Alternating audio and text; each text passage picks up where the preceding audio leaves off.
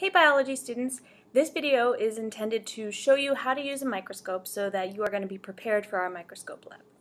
So, first we need to talk a little bit about some of the essential parts of a microscope.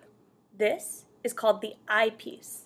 So the eyepiece is where you're going to look through. If you wear glasses, you can actually take them off when you're looking through the eyepiece. Uh, it can be hard if you wear them, and then uh, you can refocus a little bit when I, I'm going to teach you how to do that. The eyepiece magnifies, just the eyepiece alone, magnifies what you're looking at by 10x, so tenfold. Any object that we look through through here is going to be at least 10 times bigger. Down here, we have what are called the objectives. Important things to know about the objectives, it can be really tempting to grab them by the actual objective lens. Don't do that. These are about $60 a piece and it can break them. So when you want to rotate the objective, you do it by grabbing this disc here, and you can rotate through the different objectives. The objectives contain lenses which magnify at different powers. So the smallest objective is the 4x objective. That's the one with the red stripe. The 4x objective magnifies whatever you're looking at an additional four times.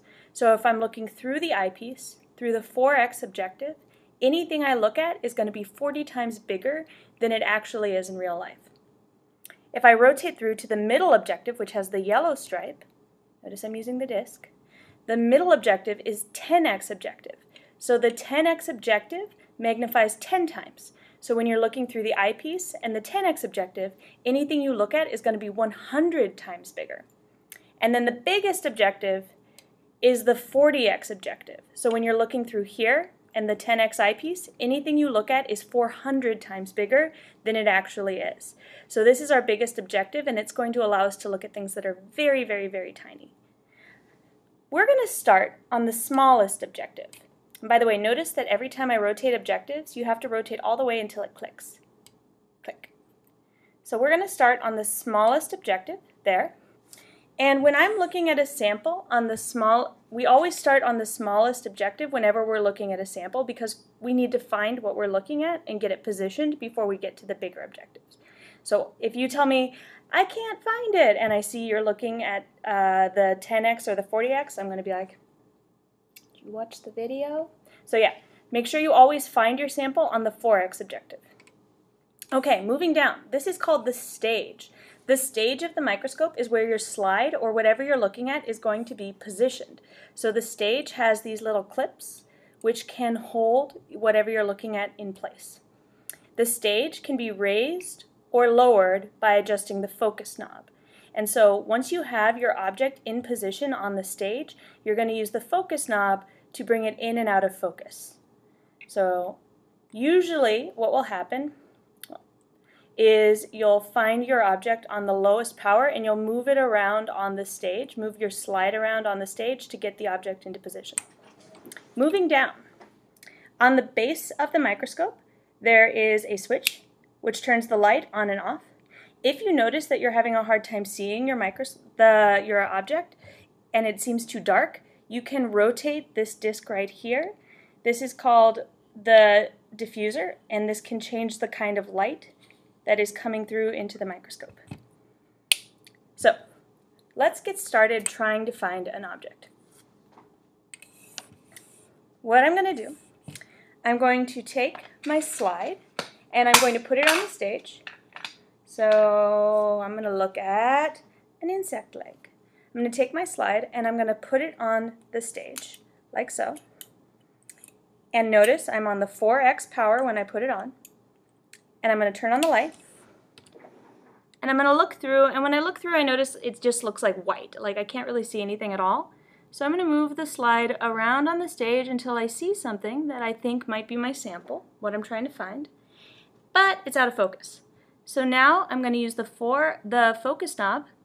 So I'm going to change the focus knob until the object's in focus. And again, if you're wearing glasses, you can take them off and you can use the focus knob to adjust for your eyesight. And then, once I've got it in perfect focus and I think it's as clear and sharp as it's going to get, then I switch over to the next highest objective, the 10x lens, the yellow stripe. And now I'm zoomed in a little bit more, And at this point, I shouldn't have to change the focus knob. I should have gotten it in focus on the 4x objective, so when I switch to the 10x objective, I only make teeny tiny adjustments. So I shouldn't see you go when you're on the 10x objective. You do big adjustments on the 4x, get it mostly into focus, and then switch to the 10x and make tiny adjustments because it's already mostly in focus. Finally, when it seems like it's totally in focus on the 10x, I switch to my big mama, which I can actually use to look at this slide.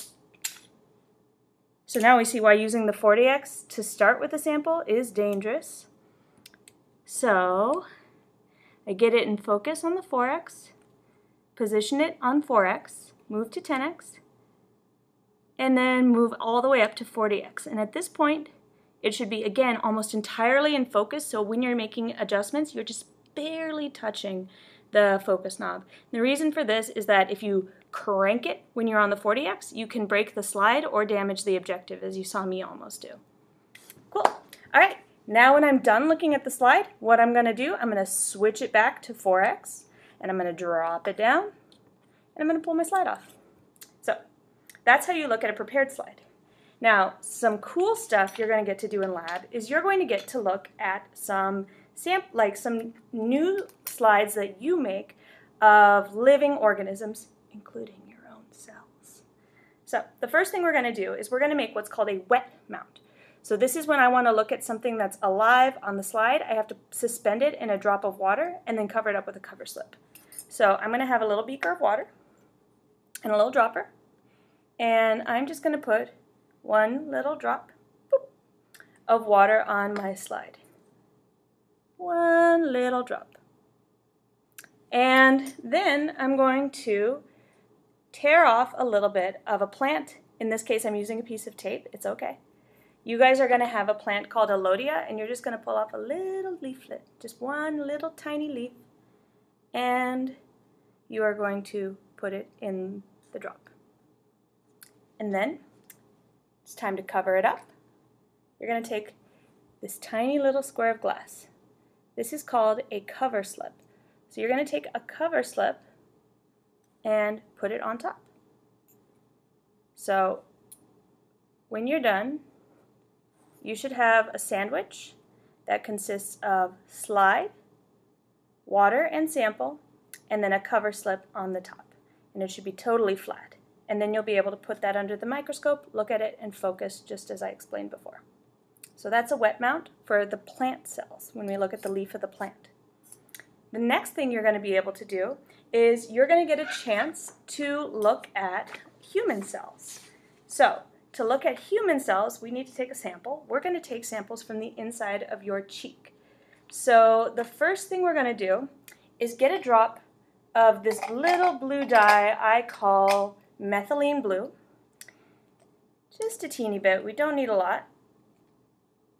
So methylene blue, just a little drop you really do not need a lot.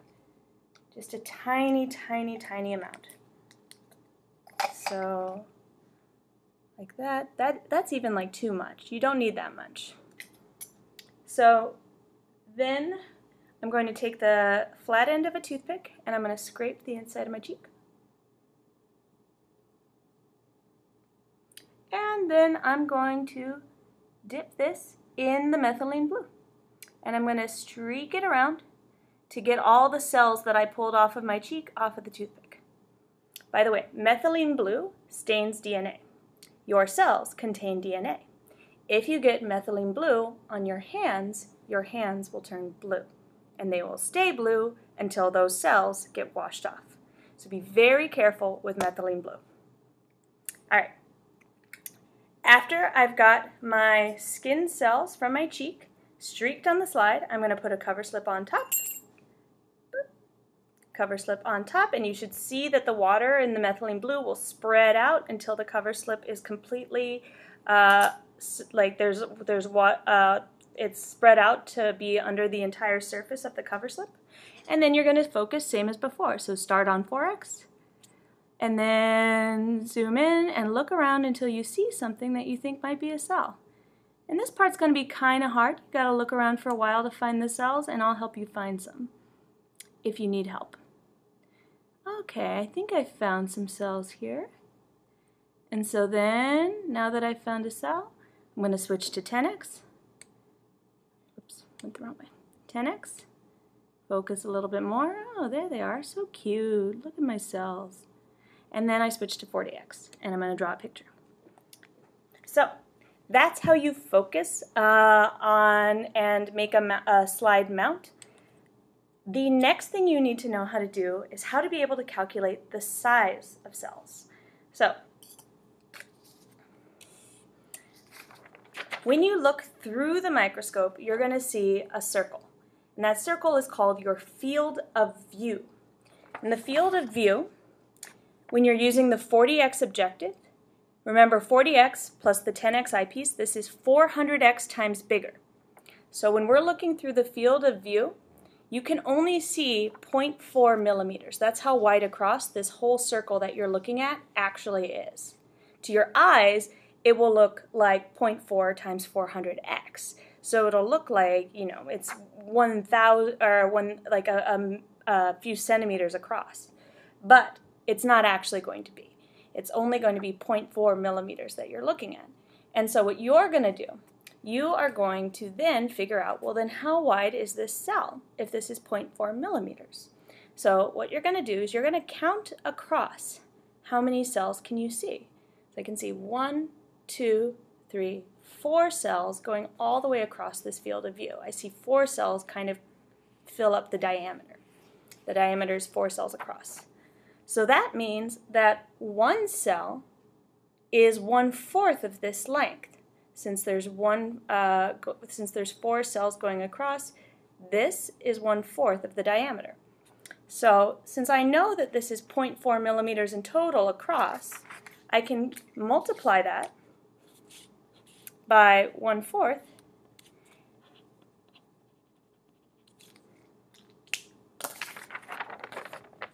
to find that this one, this cell right here is probably about 0.1 millimeters big. That's the size of this cell. The same thing is true when you're going to be looking at animal cells.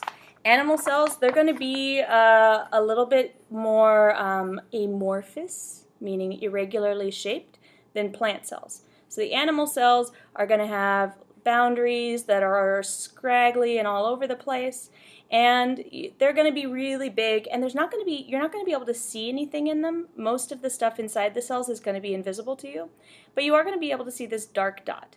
This is the nucleus of the plant cell and this is where they store all their DNA we'll learn a lot more about the nucleus later the outer boundary that you're going to see is going to be called the cell is called the cell membrane so this is the edge of the cell that holds all of the contents of the cell inside and together on the plant cell, you're going to see that there's a cell wall. So the plant cells are actually going to look more like bricks. And this is because plants have an external layer that's basically really, really sturdy and strong, and it holds the plant cells in a regular square shape.